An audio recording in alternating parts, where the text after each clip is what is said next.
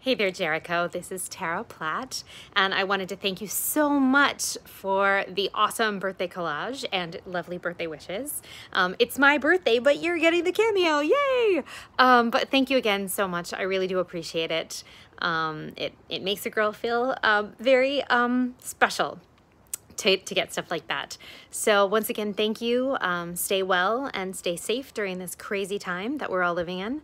And you're right, hopefully someday we will be back at conventions and we can actually meet face to face.